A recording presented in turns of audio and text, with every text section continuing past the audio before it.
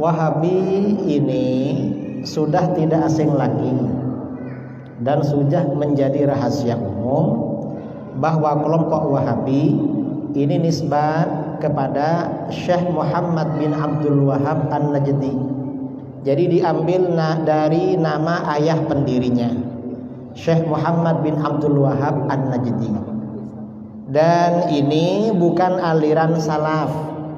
Karena Wahabi ini baru muncul ke sekarang kira-kira berusia 200 tahun. Hanya mereka ini memang senang ngaku-ngaku salaf. Yang ngaku aja mereka ini salaf. Tapi ya ajaran-ajarannya bukan dari salaf. Pandangan-pandangan Wahabi yang berbeda dengan mayoritas umat Islam itu sebagian besar itu dari abad ke-8 Hijriah yaitu Syekh Muhammad Syekh Ahmad Ibnu Taimiyah, Syekh Ibnu Taimiyah yang hidup akhir abad ke-7 awal abad ke-8 Hijriah.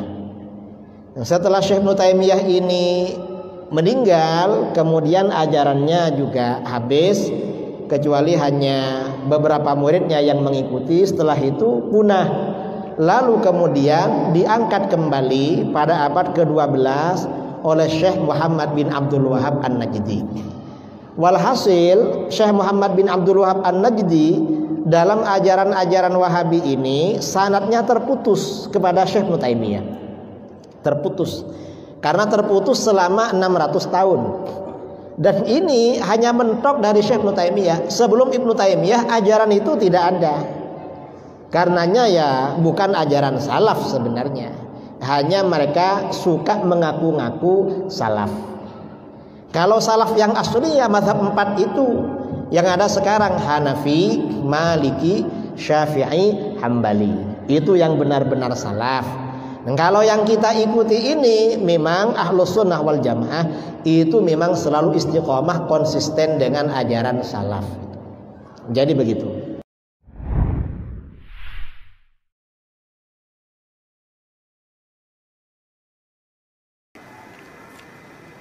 Kenapa para ulama ahli sunnah selalu dibilang wahabi dan kenapa ulama ahli bid'ah lebih banyak men, ma, uh, men, mengikut pengikutnya ya.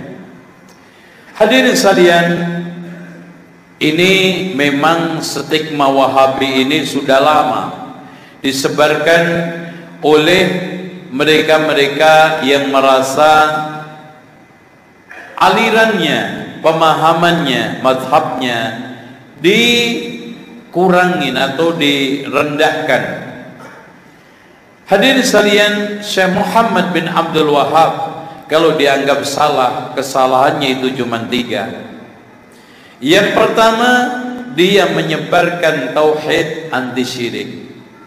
Yang kedua, dia melakukan amar ma'ruf nahi mungkar dengan tangan karena dia didampingi oleh seorang pemimpin dan itu hak. Dan yang ketiga karena beliau mem mem memerangi TBC tahayyul bid'ah hurafah ini kesalahan beliau sehingga harus mendapat gelar wahabi. Dengan demikian siapa saja yang sekarang ini mendakwahkan tauhid anti syirik melakukan amar ma'ruf nahi mungkar dengan tegas dan memberikan satu dakwah yang muatannya anti TBC pasti mendapatkan stempel Wahabi. Sekarang tawarannya antum mau hilang tidak dituduh Wahabi, gampang. Antum tinggalkan tiga itu. Antum kembali tahlilan, kembali maulidan, kembali berjanjian insya Allah. Itu saja. Ya. Bahkan hadirin sekalian saya diberikan titel paling keren Kembong Wahabi. Gampang. Saya mau hilang gampang. Saya kembali lagi ke kampung saya memimpin tahlilan, memimpin berjanjian, memimpin manakib dan mengadakan acara-acara yang mereka katakan itu bagian daripada ajaran ahli sunnah wal jamaah yang disebut aswaja. Padahal aswaja itu kalau kita perhatikan aslinya apa? Wejangan Jawa. Ya semuanya nggak ada daripada Islam kecuali sedikit sekali. Ya dengan demikian hadirin sekalian uh, kita harus tahan nah kenapa mereka banyak pengikutnya? Inilah hadirin sekalian hakikat dari sabda Rasulullah bada al-islamu ghariban fasayaudu ghariban kama bada. Islam akan mulai Islam dulu mulai terasing dan akan kembali dianggap terasing lagi. Fatuba lil ghuraba dan cukup sukses bagi orang-orang yang dianggap asing siapa mereka? Kata Rasulullah di dalam An-Nas yang lain al-ghuraba unasun salihun fi unasin fi unasin su'in kathir. Man ya'sihim aktsaru mimman yuti'uhum. Manusia yang baik hidup di tengah komunitas yang jelek banyak sekali yang membangkang lebih banyak yang mentaati di dalam lafaz lain Rasulullah SAW menegaskan tentang ghuraba an-nuzza' minal qabail segelintir orang dari berbagai macam tempat desa dusun dan kampung. Dan juga Rasulullah menegaskan tentang ghuraba alladzina yuslihuna ma afsadan nas orang yang memperbaiki apa-apa yang dirusak oleh manusia. Dengan demikian wajar.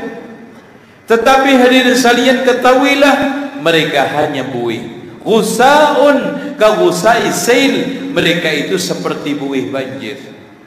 Dengan demikian Indonesia sejak awal Pak sebagaimana penelitian para pakar setelah diteliti kaum muslimin Indonesia itu yang beragama murni antara 5 sampai 10 persen yang santri abangan apa itu santri abangan? Mengamalkan Islam iya. Tapi parsial tapi yang lainnya juga boleh. Sholat mas sholat pacaran tetap jalan. Sholat iya tapi tetap ngerentenir.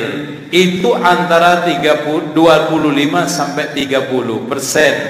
Sisanya abangan. Sisanya Islam KTP dan ciri-ciri Islam KTP tiga satu yang penting lancar mengirim Al-Fatihah kepada arwah leluhurnya itu aja itu sudah bagus sekali yang keduanya ikut sholat idul fitri sama idul adha. Dan yang ketiganya bisa lancar baca syahadat ketika menikahkan putrinya di depan KUA. Ini model merek Islam KTP. Ya, jangan tersinggung ya. ya.